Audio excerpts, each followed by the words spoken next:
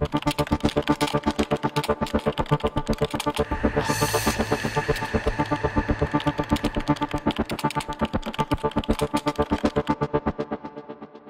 Trabajadores de la Secretaría de Desarrollo Urbano y Ecología de Tapachula protestaron a las afueras del edificio consular por la falta de pago de la primera quincena del mes de enero del 2015. Desde muy temprana hora los trabajadores se reunieron a las afueras de estas oficinas gubernamentales para solicitar al gobierno municipal el pago de su salario, luego de esperar cuatro días de la primera quincena.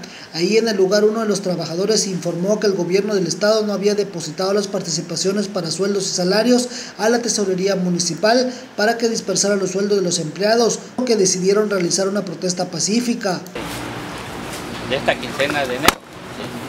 Entonces, lo llevamos a consenso con todos los compañeros de la Secretaría, ¿sí? alumbrado de toda la Secretaría, y llegamos al acuerdo en que nos manifestáramos pacíficamente en decir de que no le demos atención al público, para hacer una manera de presión para que a ver que nos depositen.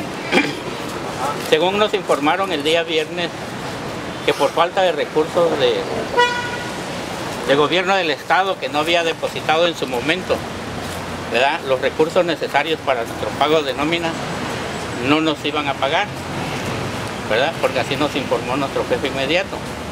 Entonces en lo personal yo le dije que no era justo, porque ya son 15 días que lo tenemos laborado de una u otra manera y no es justo que nos retengan ya mucho tiempo nuestra quincena, porque lo tenemos ganado y es un derecho como trabajadores eh, de base que somos de aquí del ayuntamiento pues que nos deben de pagar. Indicaron que en el primer momento en que aparezca el depósito en las tarjetas de los empleados, se integrarán a cada una de las áreas correspondientes a la Secretaría de Desarrollo Urbano y Ecología Municipal. Al mediodía de este lunes, el titular de la Secretaría de Desarrollo Urbano y Ecología Municipal, Sedurbe, realizó una mesa de diálogo con los trabajadores que estaban en protesta, donde se informó que los recursos y trámites que ingresan al Ayuntamiento de Tapachula se tomará el capital para empezar a depositar los sueldos de cada uno de los empleados. En otro orden de ideas, los trabajadores pidieron al funcionario municipal que no exista represalias contra los empleados que realizaron esta protesta en busca de exigir que se les pague sus salarios.